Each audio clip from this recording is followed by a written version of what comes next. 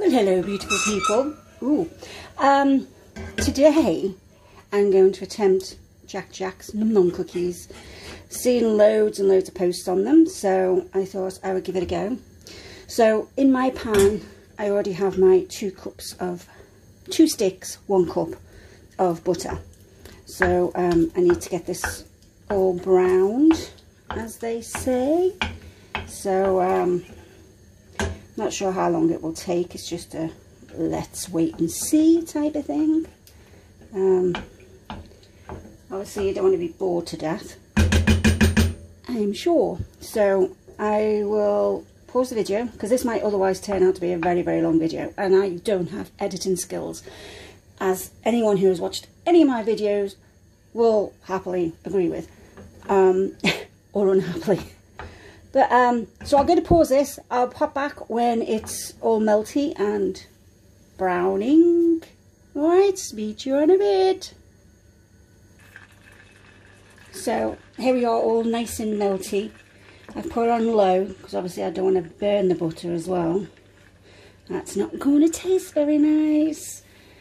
Um, so I'm basically just going to give it a couple of seconds more, maybe. Um, I can't remember someone said you're supposed to have this froth on the top so, I suppose we'll soon find out. But I'm going to turn that off actually because see it's starting to yeah I think we're done. Well this stage. So what we have to do now is let it cool and start to solidify again. Once they get to that stage, we can get on to part two of the Num Num cookies. Um, so I'm going to set this aside, let it cool. I'm going to measure out all the other ingredients, so I'm all good to go. And then um, I'll come back to you. So I'll see you in a little while. Bye bye for now. Well, hello again. I'm back. Um, I've, um, I think the butter is um, solidified. You can see it's going, starting to, so I hope that's enough. I've got all of my ingredients all measured out. Um, look at me on the ball. Um, so, shall we give this a go? Um, I'm basically going to start by creaming the sugar and butter together. I just put both types of butter in the bowl. We've got the brown sugar and the white sugar. Um, got our butter obviously. We've got um, one full egg and a yolk. We've got our flour, which I know the it doesn't say to sieve it, but I always tend to sieve my flour. I just think it makes things a little bit lighter. I've got salt and the um, baking powder in there as well. I've got my uh, vanilla essence. I have my chocolate chunks. I thought I'd use some chunks, but I like plenty of chocolate. And my chocolate chip cookies, so we have another bag of just ordinary chocolate chips as well. So um, I'm going to give this a, a, blitz up. It's probably going to get noisy, so um, obviously I'll probably just turn the camera to pause. Um, this does the trick. I do only have a hand blender, so it is probably going to take me a little bit of time as well. But if these cookies are anything like people say they are, then it's going to be worth it. So, like I said, I've got my brown and my white sugar in there. And let's give this a whisk. Very noisy. To turn you off. well, I'll pause you for now. Okay, so I think that's um, nicely mixed together. So I'm now going to add in my eggs and give it another mix. Um, so again, I'll just put you on pause while I do that, just because, you know, noisy and all that. So in go the eggs. I'll be on pause. Be back soon. So that's all mixed. Going to add in my vanilla essence now. So, oops, a daisy. So just um, one teaspoon. In that goes.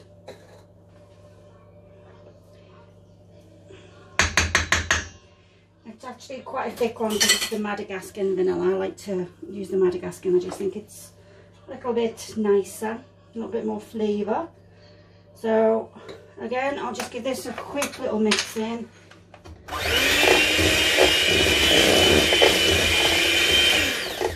Okay. So now we're going to start adding the flour. I like the flour a little very little, um, obviously just because if I add it all in together, it's all going to just be, you know, a little bit too much. I'm just going to higher this up a little as well. There you go, you can see now, can't you? Okay, so I'm going to add in the flour bit by bit. Like I said, I've also got my baking powder and salt in here. Um, I'm just going to sprinkle that in. Just a fun fact, this spoon used to be my mum's. And it's actually probably older than I am. there you go. Right, so I'm going to start mixing this in. Um, I'll get all mixed in and then I'll come back to you. Okay.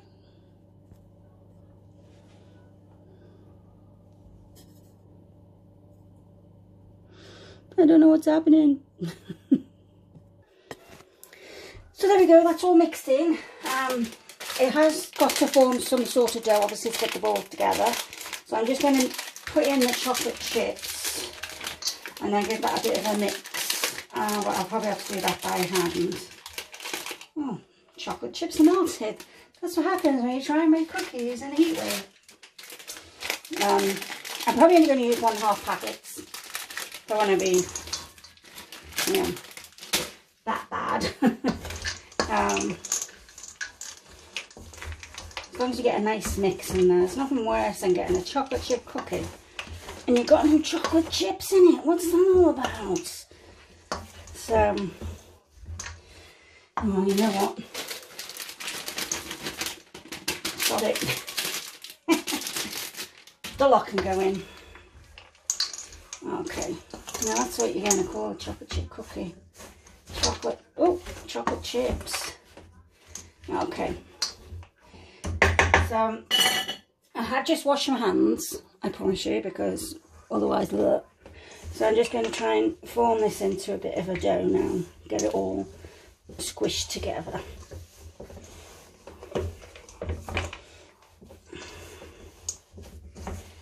There we go. It's getting there, isn't it? Okay. So I'm going to put this into dough balls. And it's going to sit in the um, fridge for at least an hour but preferably overnight. And you really think overnight is happening? When you're making cookies. You want cookies don't you? So there we go. Okay well I'm going to get those all put into little balls and um, get them ready for the fridge so I'll be back in a bit. Right, I'm just doing the last couple, so I thought I'd just show you what I was doing. Not that you need to know. Oh, I'm teaching grandma to suck eggs? But anyway, I've just been using an ice cream scoop. Um, I know someone suggested at one point, and then that way you're going to get equalish balls um, of cookie dough. um, and then obviously I'm just rounding it off into a ball. Now the other thing is, I've never actually had one of these cookies from Disney. Um, but I believe they get served in a little paper case. So I thought I would do them in the little paper cases and just see how they come out. And just using a little pie, um, you know, like a mince pie tray rather than a muffin tray. Um, but, oh, it's rogue. Um, but I thought I'd just try it this way and just see. It wasn't very even, considering it's supposed to help me be even. But anyway.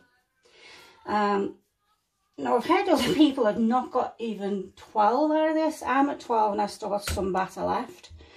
So I'm going to ball the rest up, but I'm going to probably stick them in the freezer. And then if they are really good, and it gets to a point where I just fancy one of these cookies, I can just whack it straight into the uh, oven. Um, so I'm going to do that with the rest. I'm going to put these ones in the fridge. Um, it's 3.15ish now. Um, so I'm going to stick these in the fridge. I'll leave them for at least an hour. I've got a few chores and I want to get done. So I'll get them done and then um, we'll come back and get them in the oven. And hopefully we'll have some nice cookies later on. So I will see you in a bit. Bye-bye for now. So welcome back, beautiful people. Um, they have been actually in the fridge now for uh, just about two and a half hours maybe. Um, my other jobs took longer than I thought. So um, I'm now going to pop them in the oven. The oven has been preheated already. So we're going to just um, pop them in. And fingers crossed hope for the best. They come out nice when they're all done. Um, it says about 10 minutes on the um, the instructions the recipe but um, I've heard people have left them in a little bit longer because obviously they're a bigger cookie. So we're probably going to check them in about 12 minutes but I think they will probably need a little bit longer. But I'm just going to set the timer to 12 minutes for now. Because we can always put them in for longer. Can't take them out once the burn. Well you can take them out once the burn but they're not going to be very nice. And this is a lot of effort for them not to be very nice so um, we'll let that go for 12 minutes and we'll be back. So I'll see you shortly. Bye bye for now. Well guys the uh, buzzer's buzzed. Let's just take a little look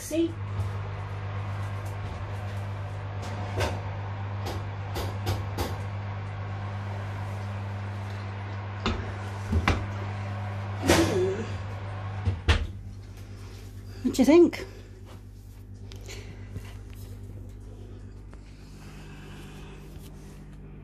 I think they look about cooked.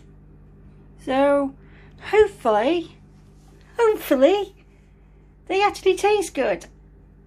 So I'm going to let them cool for a little while and then um, I'll give them a little go and I'll let you know what I think. hopefully they're good. Thanks for watching. Bye bye for now. Well, I'm back for one final time. Let's see what these bad boys came out like. I must admit, they do smell absolutely glorious. So, kept their shape nice. Now let's see. Oh, oh, oh. So, little bit, I don't know, I expected it to be more full in the middle. I don't know. I probably mixed a cake rather than a cookie, haven't I? But let's just see.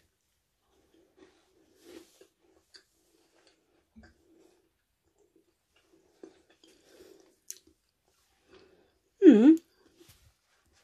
Very nice, very buttery. Um, so that's nice. Very chocolatey, but that could be the two packets of chocolate chips instead of the one. Yeah. Very nice. Don't know about amazing, but that could be just my batch. but yeah, not bad. Have 12 nice cookies, another five in the freezer for whenever. I might try one of these after my dinner with a nice blob of ice cream on the side. Mm -mm -mm. Well, thanks for watching and uh, sorry for boring you. um, this may not ever get posted, but if it does, thanks very much for taking the time to watch this. And um, we'll speak to you soon. Bye-bye for now.